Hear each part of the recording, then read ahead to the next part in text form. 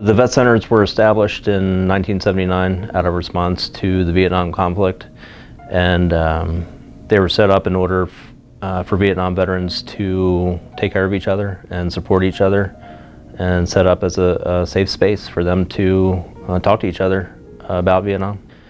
If the veterans' boots were in a hot zone or a combat theater, uh, they're typically they're eligible for vet center services. But we also offer uh, other services that you don't have to be combat eligible for, and, and one of those main services is um, military sexual trauma, MST. Um, you don't have to be a, a, combat veteran for to seek uh, therapy for that. That's open to anyone. You know, bereavement counseling, Gold Star families, they're eligible for vet center services.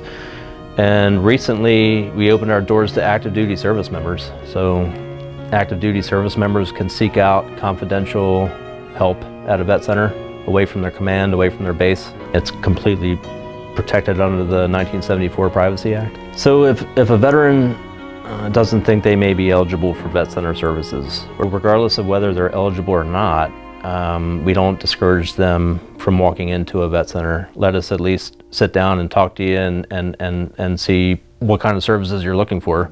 We'll take it from there. Just because they're not eligible doesn't mean you can't come into a vet center.